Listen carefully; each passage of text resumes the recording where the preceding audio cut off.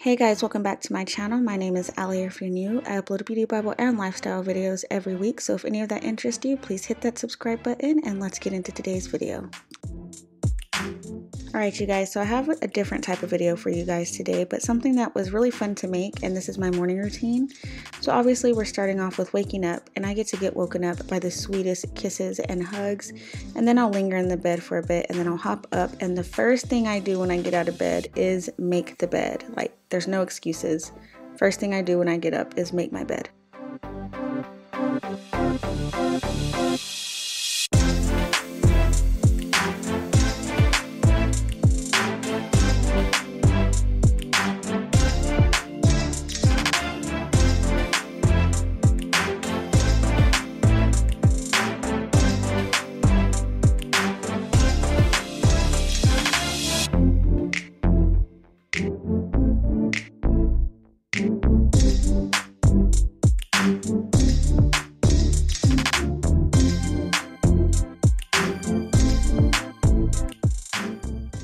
Once the bed is made, it's time to head into the bathroom and just start all the cleaning up things.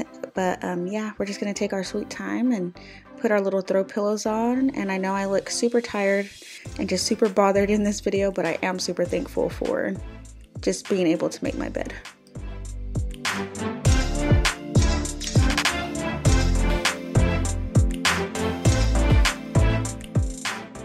So the first thing I do once I get into the bathroom is I get onto my phone and I get on the Bible app and I have it start reading me my Proverbs of the day. So let's say this day was Pro uh, March 13th.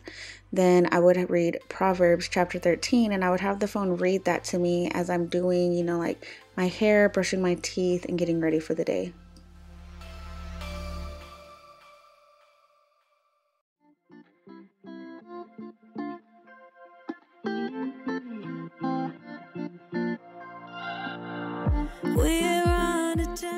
So once the bad breath has been slayed by toothpaste, it is time for us to go ahead, do our skincare, and just go ahead and do our hair. And before I start my skincare and hair, I do go ahead and get dressed between then and obviously this clip.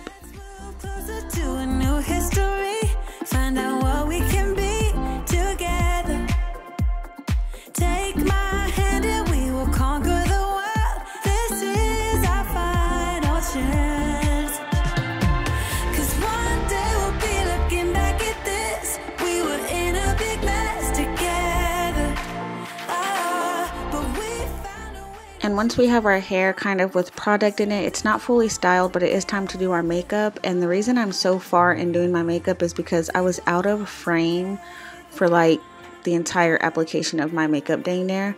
But yeah, the next step is doing our makeup after we fix our hair.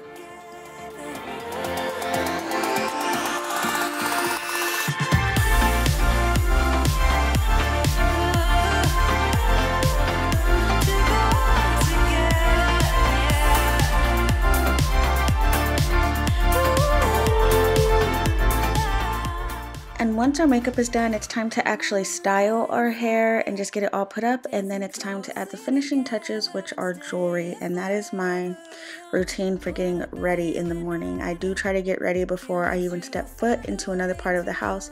And I try to be done before 1030.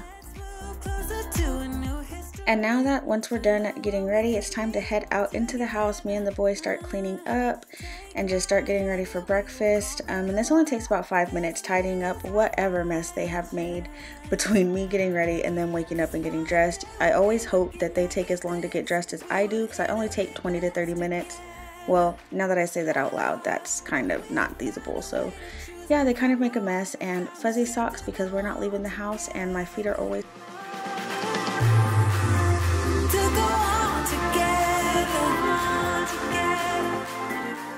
Alright you guys, and now that we are ready and the house is ready, it's time for breakfast and I make each kid a different breakfast. I know somebody's going to say I'm extra, but I do not try to fight with my kids about eating food, so I ask them every morning, what does everybody want for breakfast?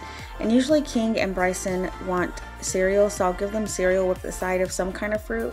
And Ethan always wants some kind of grain, and then I'll give him fruit with whatever, well I guess cereal is a grain, but y'all know what I mean. Like Ethan wants pancakes, waffles, oatmeal bites, something like that. Something heartier than what the boys want. And so, yeah, we just go ahead and get breakfast done. And then, of course, for me, um, I like to get my breakfast on the go, so I'm going to have a protein shake and an immunity shot, and then the boys have their vitamins in a gummy form. And this is one of the many reasons why I opt for breakfast on the go because once I get the boys settled down with breakfast, it is time to start laundry. It's not always their laundry. I do one load of laundry a day. Today just happened to be their laundry, so I'm sorting it between lights and darks. I'm not doing whites, lights, and darks, just light colored and dark colored because whenever I teach the boys, that's good, that's how I'm going to teach them.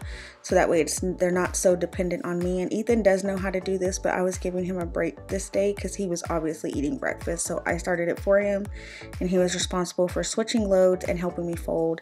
But yeah, and then while we're in the laundry room, we may as well go ahead and restock all of the laundry things.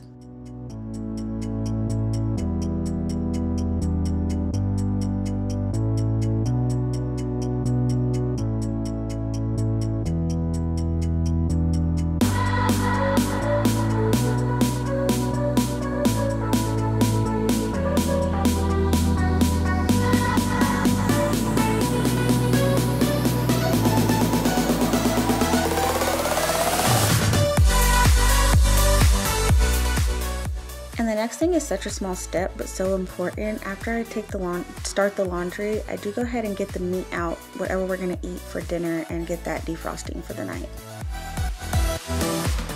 So once everybody is taken care of and all the chores are done, I take care of myself mentally and spiritually. And I do this by doing my read and write the word and just a little bit of journaling and some time with God. So I love to start in the living room just, you know, just to relax my mind and kind of be comfortable within reading and writing.